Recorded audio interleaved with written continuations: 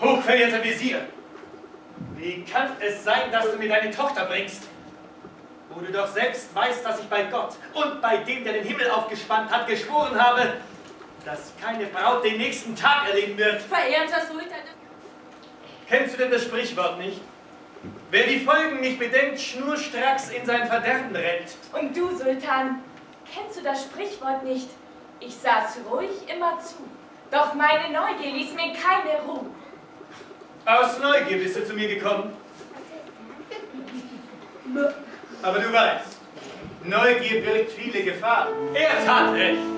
Auch der Dichter sagt, mit Mühsal wird das Glück gewonnen. Wer unbegehrt, der schlummert nicht bei Nacht. In Meerestiefen taucht, wer Perlen suchet. Und so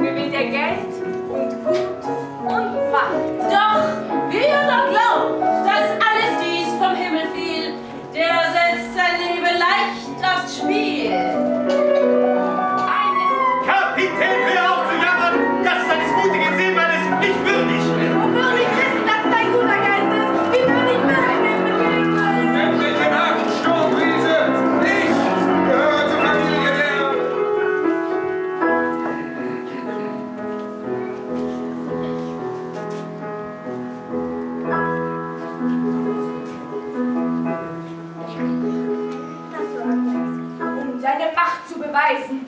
Kannte der König denn das Sprichwort nicht? Wer die Folgen nicht bedenkt, der kriegt vom Schicksal nichts geschenkt.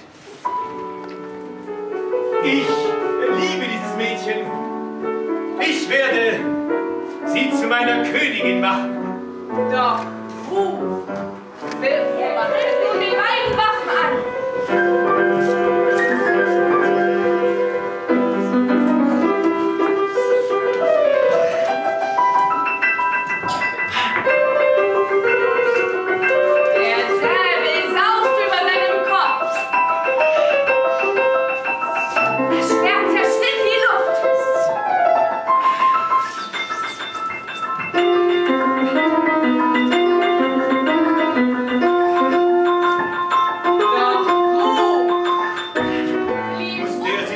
Scheherazade?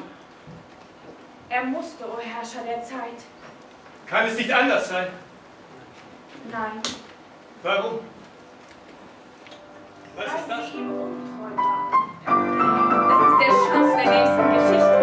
Habe ich zu viel versprochen? Klingt das nicht lustig?